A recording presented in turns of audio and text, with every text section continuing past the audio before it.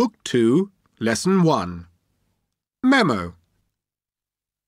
Where's the old man? He's in front of the statue. Where's the bird? It isn't in the bin, it's on the bin. Where are the kids? They aren't between the benches. She's very late and the boys are very cold. They're angry.